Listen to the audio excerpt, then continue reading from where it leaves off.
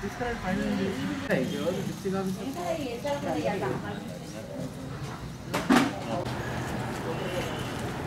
나왔어.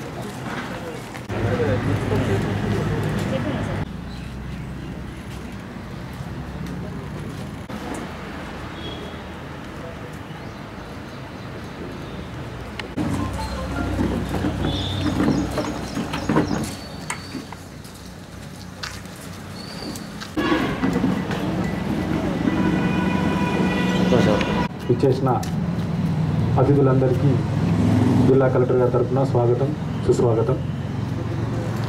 ఇటు కార్యక్రమాన్ని జిల్లా అడిషనల్ కలెక్టర్ గారిని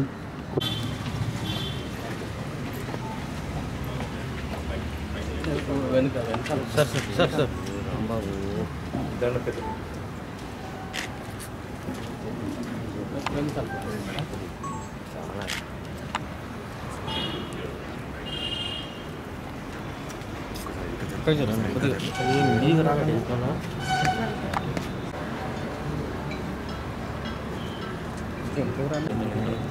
셀폰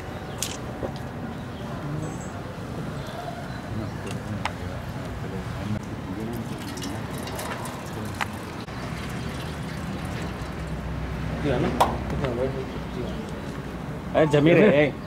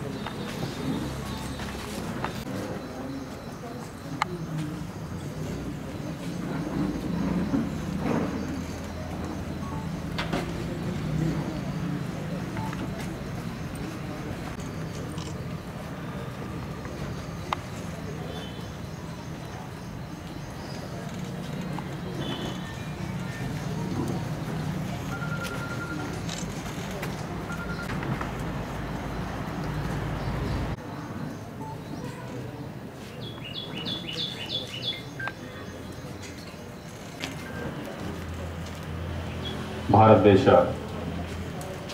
మాజీ ప్రధానమంత్రి గౌరవనీయులు పాములపర్తి వెంకట నరసింహారావు గారి శత జయంతి ఉత్సవాలను పురస్కరించుకొని ఈరోజు ఈ యొక్క కలెక్టరేట్లో నిర్వహించుకుంటున్నటువంటి జయంతి పురస్కరించుకొని ఈ కార్యక్రమానికి ఇచ్చేసినటువంటి జడ్పీ చైర్మన్ గారికి టీవీ నరసింహారావు గారి జయంతి శుభాకాంక్షలు. రాష్ట్ర ప్రభుత్వ ఆదేశానుసారం ఈ రోజు నుంచి మొదలుకొని ఈ సంవత్సరం పొడవునా వివిధ కార్యక్రమాలు టేకప్ చేసుకుంటాం. అందులో భాగంగా ఈరోజు అన్ని కలెక్టరేట్స్లో వారి ఫోటోకు ఫ్లోరల్ ట్రిబ్యూట్స్ పే చేయాలి అన్న ఉద్దేశంతో స్థానికంగా ఉండే గౌరవ ప్రజాప్రతినిధులు అధికారులందరూ కలిసి వారి పోర్ట్రేట్కి ఫ్లోరల్ ట్రిబ్యూట్స్ పే చేయమని ఇన్స్ట్రక్షన్స్ ఇచ్చారు. అందులో భాగంగా ఈరోజు మనం ఇక్కడ కలుసుకోవడం జరిగింది. PV Narasimha Rao garu nineteen ninety one నుంచి నైంటీ సిక్స్ వరకు దేశ ప్రధానిగా సౌత్ ఇండియా నుంచి మొదటి ప్రధానిగా వారు పనిచేశారు. వారి టైంలో లైసెన్స్ రాజుని అబాలిష్ చేయడంతో పాటు economic రిఫార్మ్స్లో he brought so many economic reforms and lot of development happen వారు తెలుగు బిడ్డ అవ్వడం మనందరికీ కూడా గర్వకారణం. అందులోనే ఉమ్మడి కరీంనగర్ జిల్లా నుంచి ఉండడం ఇంకా చాలా గర్వకారణం. సో ఈ రోజు నుంచి మొదలుకొని రాష్ట్ర ప్రభుత్వం ఏవైతే మనకు ఎట్లా సెలబ్రేట్ చేయాలి అన్న డెసిషన్స్ ఇన్స్ట్రక్షన్స్ ఇస్తే దానికి అనుగుణంగా జిల్లా వ్యాప్తంగా తప్పకుండా ఘనంగా ఆ కార్యక్రమాలు ఏర్పాటు చేసుకుంటామని చెప్తూ ముగి శ్రీ పివి నరసింహారావు గారి తొంభై తొమ్మిదవ పుట్టినరోజు సందర్భంగా ఈనాడు జగిత్యాల కలెక్టరేట్లో ఏర్పాటు చేసిన కార్యక్రమంలో పాల్గొంటున్న జడ్పీ చైర్పర్సన్ శ్రీమతి వసంత గారికి ఎమ్మెల్సీ గారికి గౌరవ కలెక్టర్ గారికి అడిషనల్ కలెక్టర్ గారికి మాజీ ప్రధానమంత్రి దివంగత పివి నరసింహారావు గారి తొంభై తొమ్మిదవ జయంతి ఉత్సవాలు ప్రారంభమైనవి. మరి ఈనాటి నుండి కూడా గౌరవ ముఖ్యమంత్రి గారు సంవత్సరం పొడవునా కూడా శత జయంతి ఉత్సవాలు చేయాలి. ఇది తెలంగాణ బిడ్డగానో లేదా కరీంనగర్ బిడ్డ ఇక్కడ కాకుండా ప్రపంచ వ్యాప్తంగా కూడా ఎక్కడెక్కడైతే మన వాళ్ళు ఉన్నారో అంతటా చేయాలని చెప్పి వారు ఆదేశించడం జరిగింది. దానికి అనుగుణంగా మరి ఎన్నో ప్రణాళికలు కూడా చేయడం జరిగింది. దానికోసం నిధులు కూడా కేటాయించినట్టు మనం చూస్తా ఉన్నాం. మాజీ ప్రధాని శ్రీ పివి నరసింహారావు గారు ఒక ప్రధానిగా భారతదేశ ఆర్థిక సంస్కరణ చేసిన వ్యక్తిగా దేశవ్యాప్తంగా కూడా మన్ననలు పొందారు. అదేవిధంగా మరి దాదాపు పదహారు పైన భాషలు నేర్చి బహుభాషా కోవిదుడుగా దాంతో పాటుగా ఒక మాజీ ముఖ్యమంత్రిగా కాకుండా కేంద్రంలో కూడా విదేశీ వ్యవహారాలు కానీ హోంశాఖ హ్యూమన్ రిసోర్స్ డెవలప్మెంట్ లాంటి చాలా అత్యున్నతమైన శాఖలు చేసి ఆ తర్వాత ప్రధానమంత్రిగా కూడా అయింది ప్రధానమంత్రిగా చేసింది చాలామందికి చాలా తెలుసు.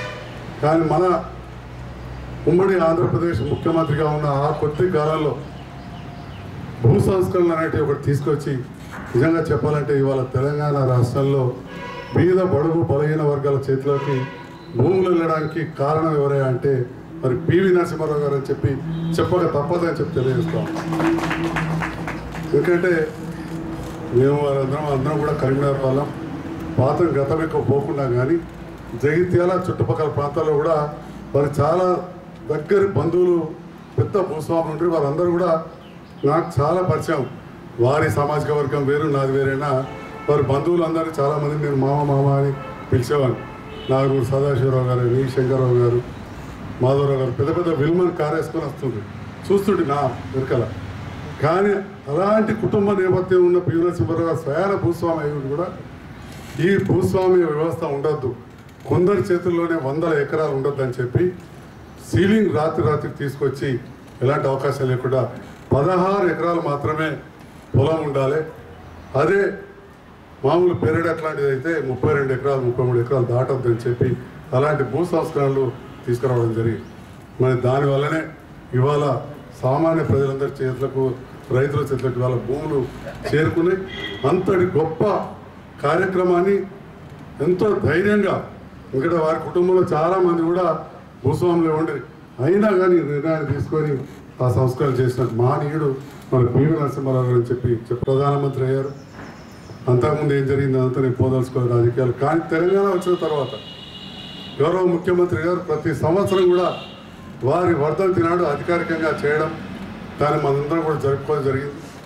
మరి ఈనాడు తెలంగాణలో ఎంతోమంది ఇట్లాంటి మన మట్టిలోని మాణిక్యాలు ఉంటే ప్రొఫెసర్ జయశంకర్ గారి పేరు మీద ఇవాళ మనం ఆచార్య యూనివర్సిటీ ఏదవుతుందో దాన్ని మనం వ్యవసాయ విద్య- విశ్వవిద్యాలయానికి జయశంకర్ గారి పేరు.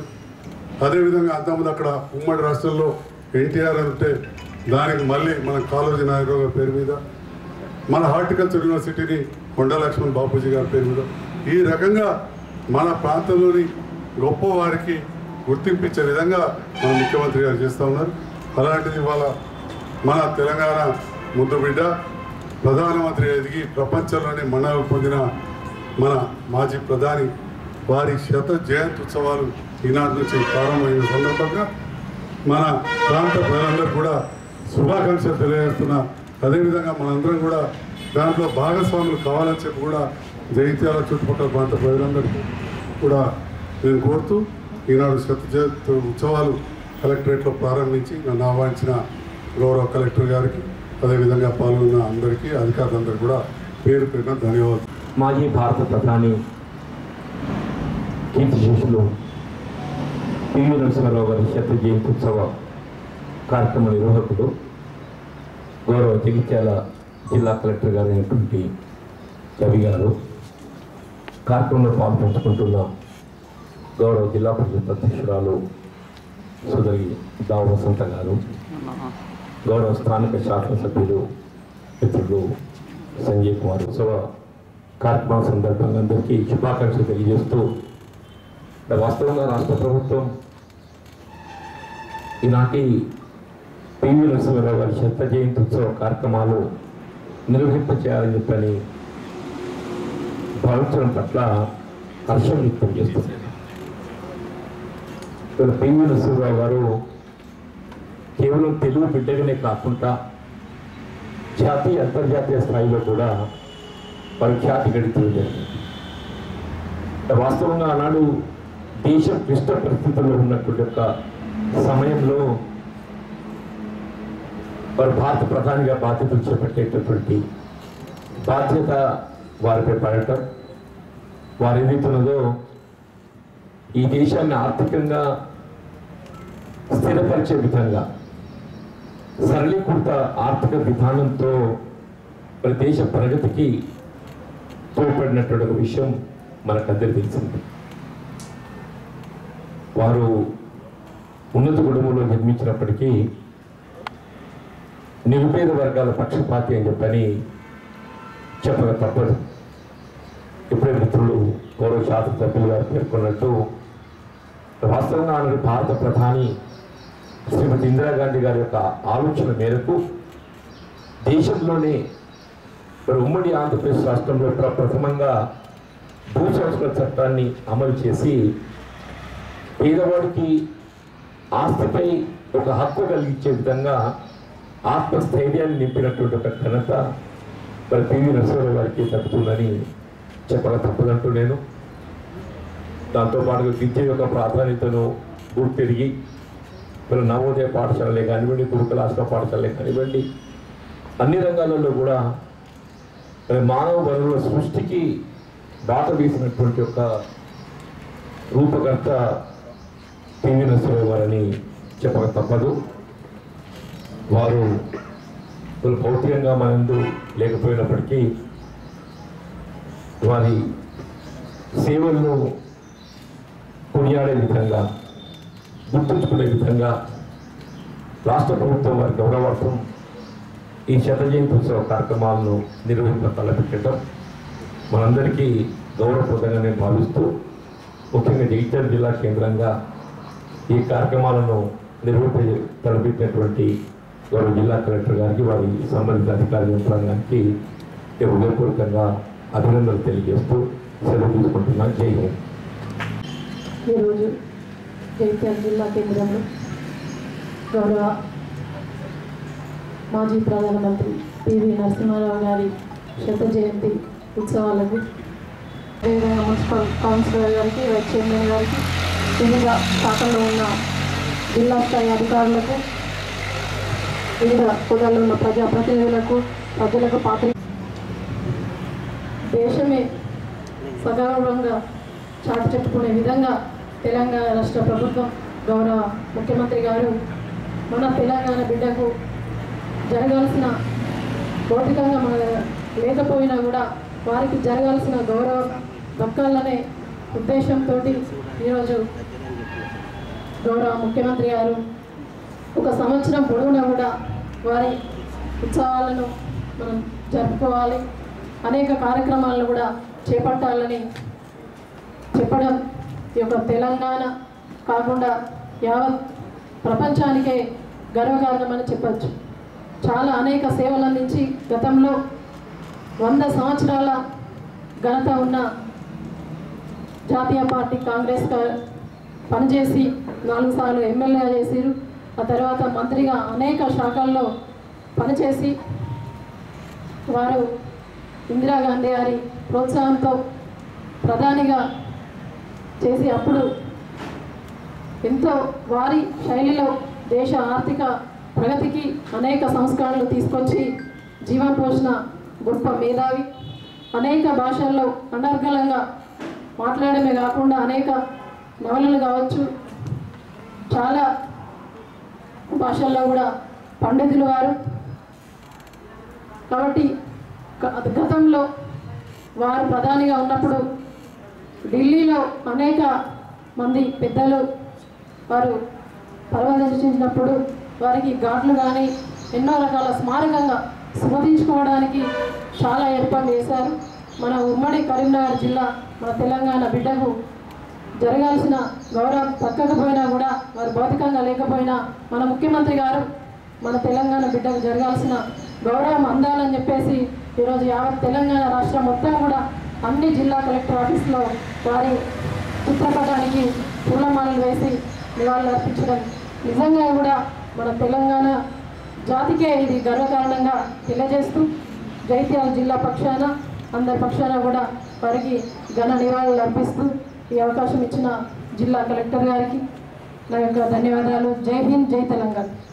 ఏ నరసింహారావు గారి సెంట్రల్ సెలబ్రేషన్ సందర్భంగా వచ్చేసినటువంటి అతిథులందరికీ మరొకసారి ధన్యవాదాలు తెలియజేస్తూ మరి ఇంతటి మహానుభావుడు చాలా గొప్ప వ్యక్తి మేధావి దేశాన్ని ముందు చూపు తీసుకుని ముందుకు నడిపించినటువంటి తీసుకున్నటువంటి అత్యద్భుతమైన నిర్ణయం దానివల్లనే మనకు ఈరోజు భూమి అనేటువంటి సమానంగా సమానం కాకపోయినా అందరికీ భూమి లేని వారందరికీ కూడా భూమి అనేటువంటిది ఇచ్చేటువంటిది ఒక మంచి నిర్ణయం అనేటువంటి జరిగింది.